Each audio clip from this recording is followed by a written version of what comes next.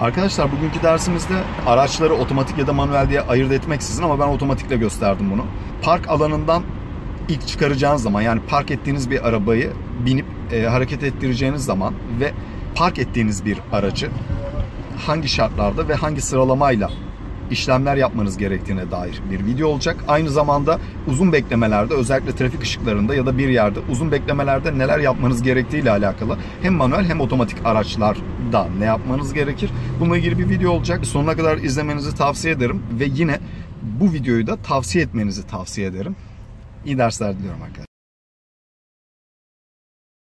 Ben burada bir ışıkta beklerken vitesinizi her zaman direkt iterek boşta tutabilirsiniz. Aracınızı dinlendirir.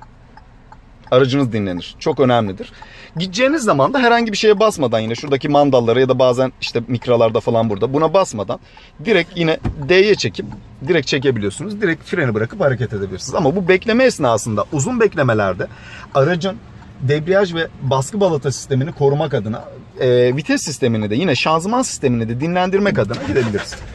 Uzun beklemelerde vitesinizi N'ye direkt alın bek öyle bekleyin. Gideceğiniz zaman direkt D'ye çekin. N ve D arasında zaten herhangi bir e, ekstra işlem yapmanıza gerek yok. Şu an giderken yapacağım ama şu an giderken bile bakın boşa çıkıp vitese geçebilir hiçbir şeye basmadan.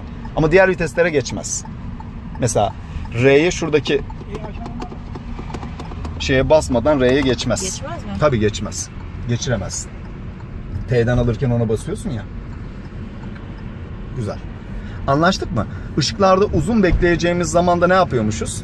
Neyi alıyormuş? Evet, hatta bak için. bir ışığa geliyoruz. Şimdi alabiliriz. Ya önce durursun durduktan sonra. Harika mesela ışıkta durduk. Uzun bir bekleme olacak. Hop.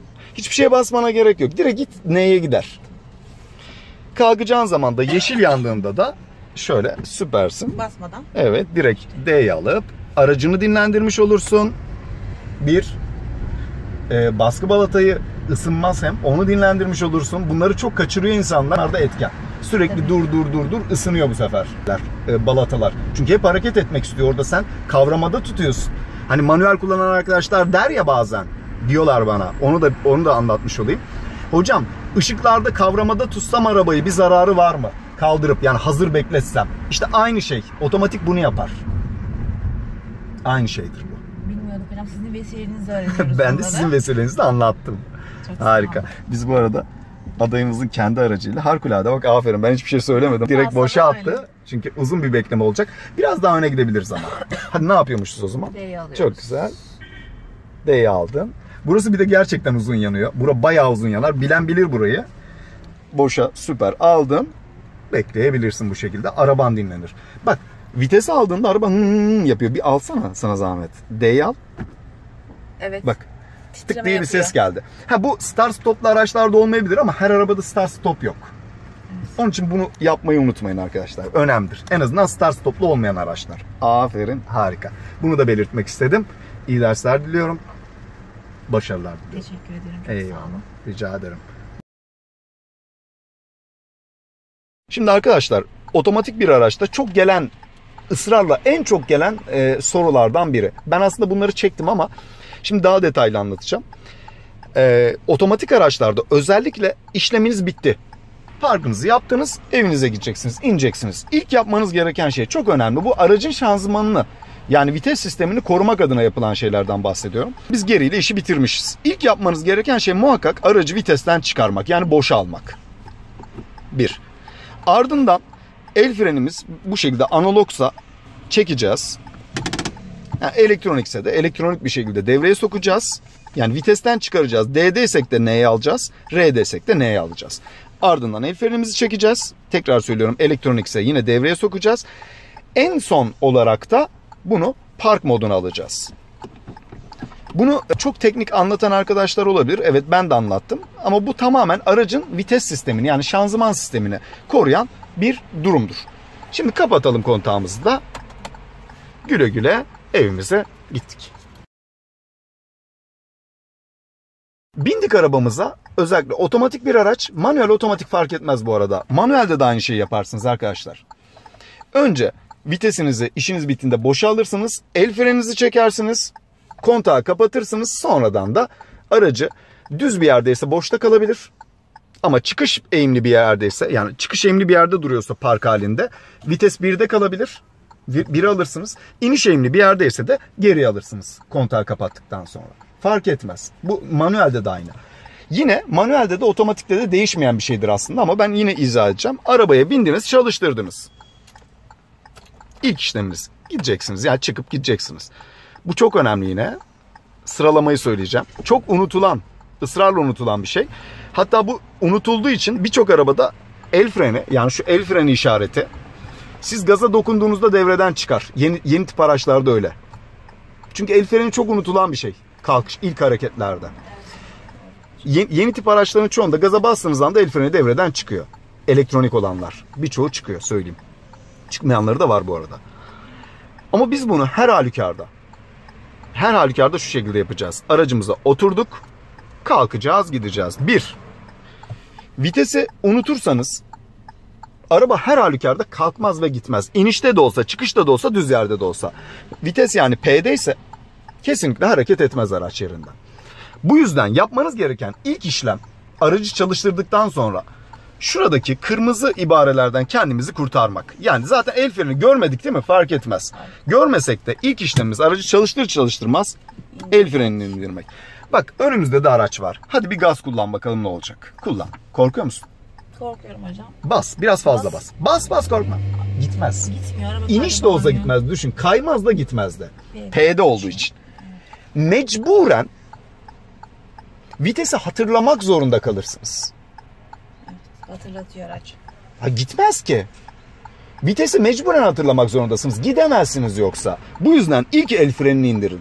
Aslında bunda bir sıralama yok. Ama emniyet anlamında ilk el frenini indirin. El freni havadayken araba gider mi? Herkes aynı cevabı veriyor. Gider. Zorlarsanız gider. Bilmiyordum. Yo birazdan şu düzlüğe çıktığımızda yapalım hatta bir kere Tamam, onu. tamam. Bir kere de görsün arkadaşlar. El freniyle araba gidiyor mu gitmiyor mu bir görelim. Ben bilmiyordum. Bunu unutursanız araba gitmez. Bu yüzden ilk el frenini indirin. Çünkü onu unutursanız gidecek. Göstereceğim de onu. El frenini indirdik ardından vitese alacağız arabayı. Almazsak gitmeyecek zaten. Şimdi çıkmaya başlayalım. Ben hatta çok güzel. Buralarını kesmeyeceğim. Bu arada çok güzel park yaptın ikinci bir defa. Gel biraz daha sağa doğru sana zahmet. Çok sevindim hocam. Harika. Burada duralım hadi. Buradan park Ha kısa bir yok park değil. Kısa bir süreliğine duralım yine yaparız. Şu el frenini bir çekebilir miyiz? Çekin. D'yi aldınız. Evet. İlk çalıştırdınız. Vitesi unuttunuz el frenine. Bir gaz verin bakalım. Biraz daha verin. Gidiyor. Bakın el freni aynı yerde ve inanın 5 diş çekti. Bakın el freni orada yanıyor. Evet. Gider. Zorladığınızda da balatayı bitirsiniz. Tamam zorlama daha fazla. Bunu, bu çok yaşanmış bir şeydir. Bunu özellikle anlatmak istedim. El frenini indirdiğinizde viteste değilse P'deyse zaten gitmeyecek ve mecburen hatırlayacaksınız. Evet. Ama önce bunu alır sonra bunu unutursanız ki çoğu zaman unutulur. Araba gider. Gidiyormuş. Ve Evet. fren balatasını gidiyormuş istersen bir daha dene. Gidiyor. Yok tam dediğimi gördüm hocam. Hadi bakalım kalkalım. Anlaştık mı? Neden Anlaştık. Önce o sonra o Anlaştık hocam. yapıyoruz. Harikasın. Yine park yaparız bol bol. Sıkıntı yok. Sıkıldın ama değil mi parktan da artık? Anladın meseleyi. Anladım. tamam hadi bakalım. Çok güzel. İyi dersler diliyorum arkadaşlar. Otomatikle alakalı az önce e, hani bu işi öğrenen aday arkadaşımızla park esnasında biz park çalışıyoruz. Bir şeyden bahsettim. E, hani dedim ki kesinlikle yapmanız gereken ilk işlem neydi? Vites. Vites. Her zaman vites, sonra direksiyon. Otomatik araçlarda özellikle sonradan en son hareket için freni bırakırsınız. Sadece park için değil bu tabi. Bir yerden dönerken de bir yere giderken de. Süper. Önce vites, sonra direksiyon harikulade. Çok güzel. Yanlış. En son hareket. Yani parkta olsun, herhangi bir yerde olsun hiç fark etmez. Sebep şu neden önce vites, sonra direksiyon, sonra hareket. Çok önemlidir. Parksa park, dönüşse dönüş, çıkışsa çıkış. Yani bu uygulamaları e, kesinlikle biraz geri gelelim hatta bir kere de gösterelim onu. Gel. Tamam yeterli. Çıkış yapıyormuşuz gibi yapalım. Örneğin arkada da mesafemiz yokmuş gibi düşünelim. Aslında çok fazla mesafe yok zaten ama yine de evet çıkış yapıyormuşuz gibi düşünün.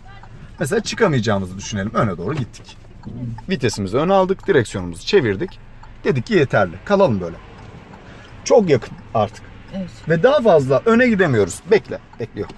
Şimdi burada genelde öğrenci direksiyonu çeviriyor ilk. Bunu çevirip genelde de bunu unutabiliyor. Birçok insan da unutabilir. Bunu çevirdiniz atıyorum nereye doğru? Sağa doğru değil mi? Şimdi Evet. çevirin mesela. Çevirdiniz. Bunu unuttunuz. Arkaya gitmeye çalışıyorsunuz şu an. Bam diye öndekine. Hiç gaz vermeseniz bile gider öndekine vurur. Vurur. Çünkü sağ tam sağ yaptık. Ama bunu unutma. Alın bunu tekrar geriye. Bunu unutmazsanız bunu unutursanız en fazla bir pozisyon geriye düşersiniz. Evet. Yani unutacağınız bir şey varsa bu direksiyon olsun. Vites olmasın.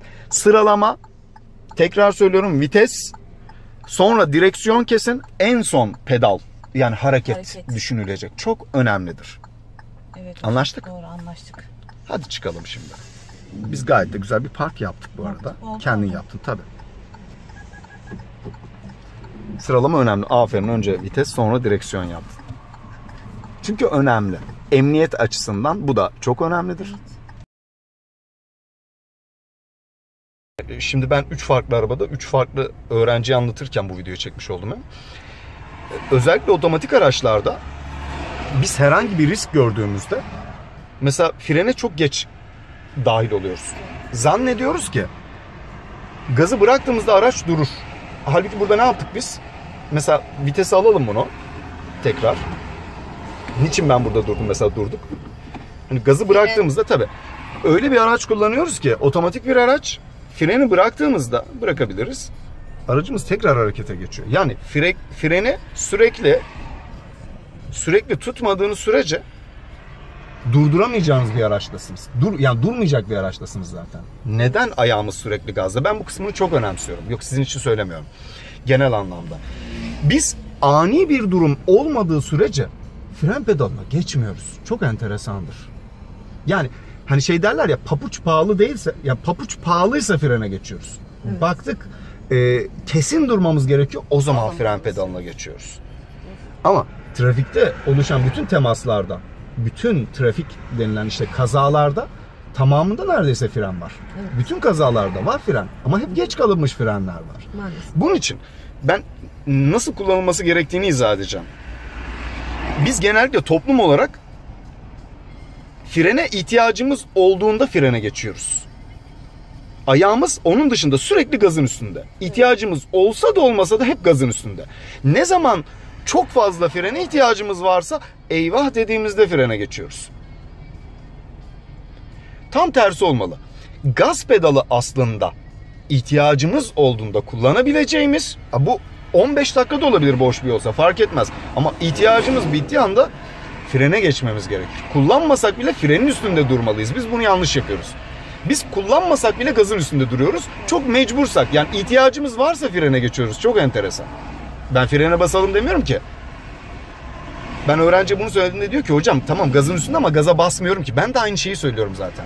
Eğer bir ihtiyacın yoksa frenin üstünde dursun. Daha emniyetli değil mi? Daha Daha, önceden kullanmaya başlarsın sen. Evet. Daha mantıklı değil mi? O yüzden ayağımızı daha fazla frenin üstünde tutmalıyız.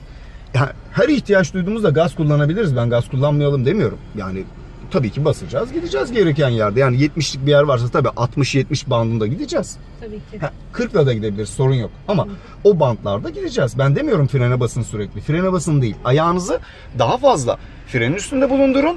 Emniyettir. İhtiyaç, her ihtiyaç duyduğunuzda gaz kullanın. Gaz, Ama ihtiyacınız bittiği anda geçin frende bekleyin. Bekleyeceğiniz bir yer varsa o frendir. Emniyet. Anlaştık. Haydi bakalım. Biz tekrar kalktık. Devam ediyoruz. Yani sırf bu yüzden insanlar e, çok büyük problemler yaşayabiliyorlar. Fren geç kalındığı zaman bu gördüğünüz mekanizmalar sizi istediğiniz yerde tutmaz. Bu mümkün değil neredeyse. Evet. Frene Hele ki süratliyseniz ve e, freni geciktirdiyseniz çünkü bu timing meselesidir. Doğru zamanlamayla yani bir kümelenme gördüğünüzde bir viraj gördüğünüzde gördüğünüzde bakın yavaşlamaya başlarsınız. Geldiğinizde değil gördüğünüzde yani o alanın içerisine yaklaştığınızda ya da içerisine girdiğinizde değil yani esnasında değil önceden. Aynen. Riski gördüğünüzde eğer önlem alırsanız bu hayata dair de böyledir. Parayla, ticaretle alakalı da öyledir. Eğer tedbirinizi almazsanız siz bulutları görmenize rağmen eğer şemsiyenizi ya da yağmurluğunuzu almazsanız birazdan ıslanabilirsiniz. Önceden almalısınız. Önceden. Ondan sonra koşturmaya başlarsınız yağmur yağdığında sağanak şeklinde değil mi? Haydi bakalım. Süper. Bak bu anlatımın hemen ardından orada ışığın sarı olduğunu gör. Harikulade bu işte. Çünkü riski gördünüz sarı ve fren kullanmaya başladınız. Güzel güzel güzel süper. Harikulade. Haydi bakalım. İyi dersler.